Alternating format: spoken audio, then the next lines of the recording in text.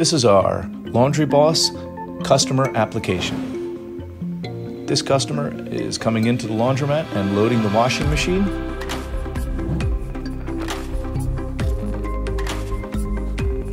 She'll add soap and softener. Select her VEN levels.